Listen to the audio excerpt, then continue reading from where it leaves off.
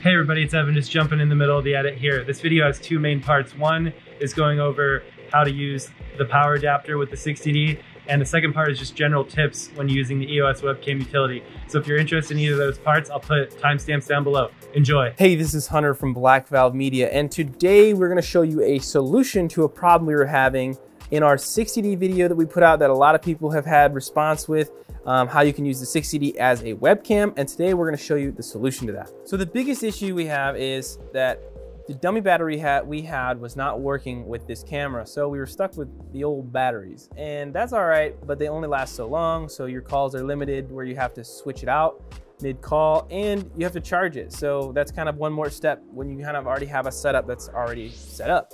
So this should solve this for us. Now, I don't know the brand of this thing. It's on Amazon, whatever. Little Documente here.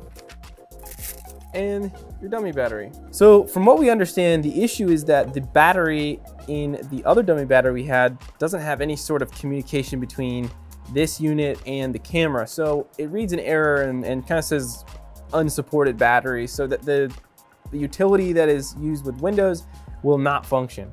So the battery was the solution then, and now apparently this one has that chip. All right, so next what you wanna do is get this sucker plugged in. So let me show you, because it's a little fiddly. So I'm gonna unplug this guy. Get it unratcheted back here.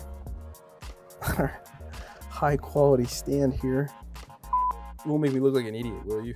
The trick to this is there's this little flap right here, and it's kind of hard to see sometimes when you open the door, there's that little flap there. And then the easiest thing to do is just pop this sucker out the way while you're working. And so this, I line it up right there. You bring that through there. When you push it in, you see that little flap there, lays flat. So then now, take your door, push it back in, and shut her up. All right, so now we got this bad boy plugged in there. We're gonna flip her on and then no error message is good. We're gonna go live view and we're live, baby. Let's get a little focus here, a little exposure. Because what we're gonna try to do now is just open up Zoom. We're gonna go to settings. We're gonna go to video and bada bing, shows right up. We just did Zoom. Now we're gonna try OBS and we just rebooted because we're having a little bit of an issue and we like to cycle the camera too just before we start. Uh, it, it, it, can't hurt and most often it helps. So we're gonna open OBS. So then we're gonna add, we're gonna hit video capture, we're gonna hit OK, and we're gonna go down to EOS Webcam Utility, and bada bing, you're gonna hit okay. So there it is. I think this power adapter is really valuable because if you're jumping on a call kind of out of nowhere and you're not having to worry about like, are my batteries charged or did I charge that battery? Where is my battery? It's already plugged in, it's already gonna work just like a normal webcam would. So, but the advantage is you're using a really nice camera and it kind of gives you a really professional look.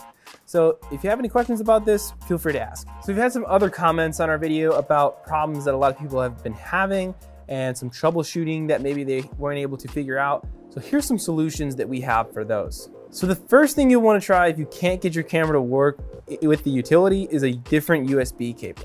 So another problem is the camera not showing up. That's kind of an anomaly. If, if you're in a USB port and you have others, just go to another one. Sometimes one port doesn't like it, or maybe just unplugging and plugging it back into another port will re-recognize it. We just had some weird issues and, and I'm sure this will solve some people's problems. And this one's like really messing with us. But basically, this is a 16 by 9 capture and this frame right here is 16 by 9.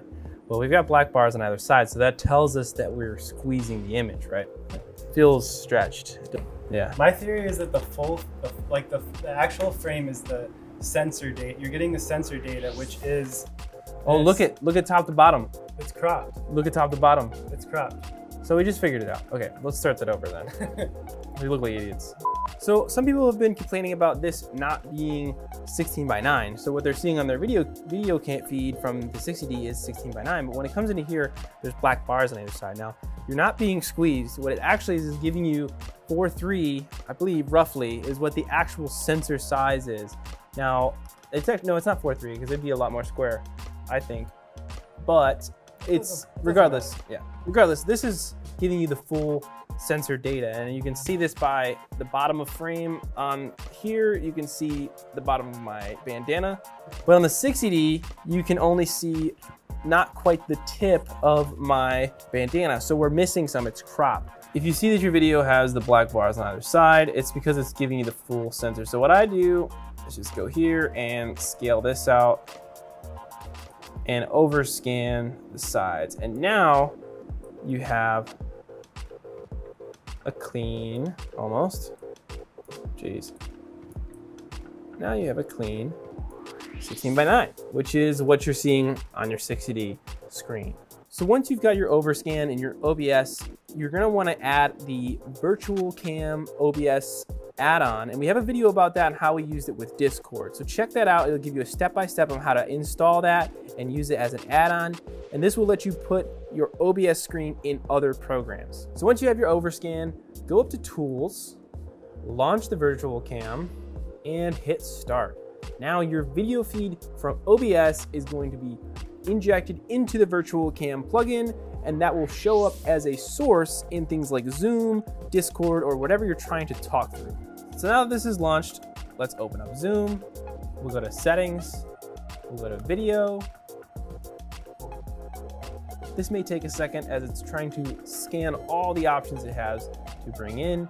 Then we're gonna go to camera, and we're gonna change that to OBS camera one.